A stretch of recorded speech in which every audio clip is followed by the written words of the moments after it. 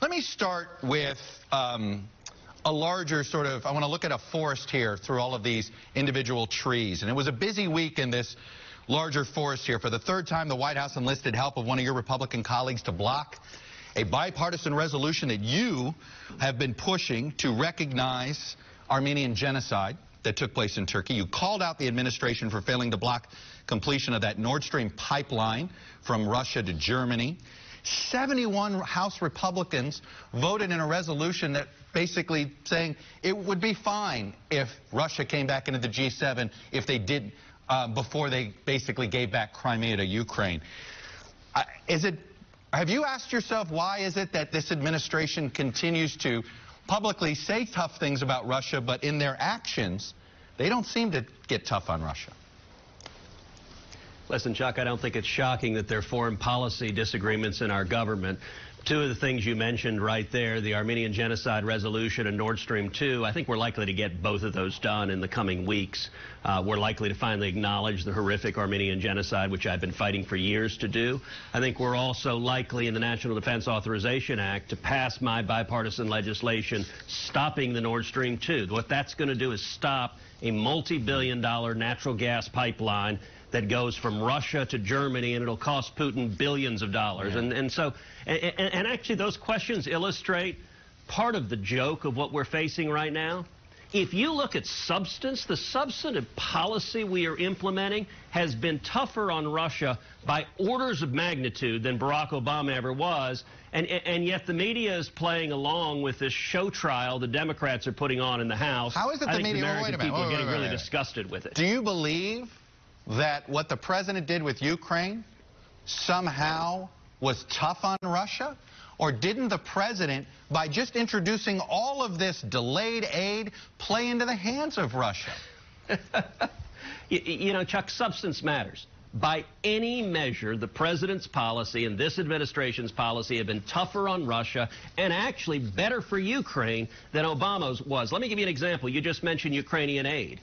The Donald Trump administration gave lethal defensive aid to mm-hmm. Ukraine, Javelin missiles to take out Russian tanks. Do you know what? Throughout the Obama administration, I repeatedly pressed President Obama to give lethal aid to Ukraine. I traveled to Ukraine. I went to the mm-hmm. Maidan Square in Kiev, and they needed lethal aid, but the Obama administration, they sent teddy bears and MREs. They wouldn't actually give weapons. And, and, and at the end of the day, Chairman Nadler doesn't want to talk about any of that. He doesn't want to talk about the substance. You know, it was really Senator, striking I, listening to yeah, his comments. At one point, he said, "Well, there's no crime," and you know, he's right. There is no crime. No, he did. Was talking about Yesterday. he was talking about the president's lawyer, not about the president. But go ahead. All right, all right, Don't all right, take him out of let's context talk on about that. yesterday. Yesterday, that oh, you're right. He said it, at first he said it was contempt, and then said, oh well, not really contempt. There's no crime. But but let's be clear about the president, since this is impeachment of the president. Yesterday, House Democrats put out a 55-page report. They called it a scholar, scholarly report that, that, purports to say you don't have to prove a crime, you don't have to prove a, a law was violated to impeach a president. That's what a, garbage, what nonsense. You well, know, wait a Chuck, minute. That's poker, exactly, Senator. So, hold on, whoa, whoa, let me finish whoa, my whoa, point real Senator, quickly, Chuck. That is yeah. exactly why the impeachment uh, it was written into the Constitution. That's exactly why the phrase high really? crimes and misdemeanors is in there, because they did it before they even wrote our laws, sir. Before we had our, so, so, so how actually, do you know? what the Constitution? How do you? I mean, you, you're saying that it is not. That's exactly the opposite of what is true. Chuck, actually, what the Constitution says is you can impeach a president for treason, bribery, or high crimes and misdemeanors. It specifies it. That's high right. crimes and misdemeanors. And, and go ahead. What, hold on, Chuck. Don't, don't and what is me. a misdemeanor? What is a mis defined misdemeanor? So high crimes or misdemeanors was a term of art that the, that, that the framers used. And, and, you know, it's striking. In, in, poker, there's something called a tell. When a player has a really bad hand and they, they, they reveal it, yeah. it's a tell. What we saw last night was a tell from the House Democrats. You, you know, just a few weeks ago, their talking point was bribery, bribery, bribery. They're now admitting they can't prove a crime, they can't prove a law was violated, and here's why any president, any administration is justified in investing corruption. And there was serious evidence of real corruption concerning Hunter Biden on the board of Burisma, the largest natural gas company in Ukraine. You know how much Hunter Biden was paid every month?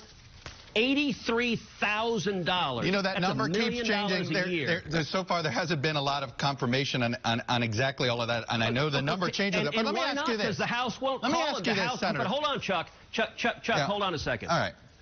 The media ought to care if there's actual corruption. I- I- a and the million media dollars a year. Do you, You know, know how much you- you make do you get know for you learn serving this? on the board of ExxonMobil? Do you know how get you learn? $110,000 a year. Do you really Senator, think Hunter Biden with zero the reason you know this information is the media reported it. making 10 times as much as a board member right. of ExxonMobil? I, I, what I don't understand is why do you believe that if an American is, is committing corruption, we should ask a foreign government to announce an investigation? Is that appropriate, or do you go to American authorities?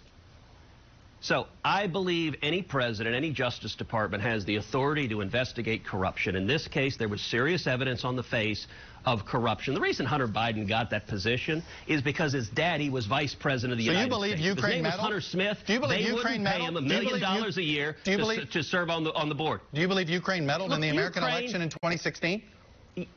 I, I do, and I think there's considerable evidence. You do? You do? Yes, Uh, look, and, and Chuck, let me I- say, I- this is, I, you know, Senator, this sort of strikes me as, as odd because you went through a primary campaign with this president. He launched a birtherism campaign against you. He went after your faith.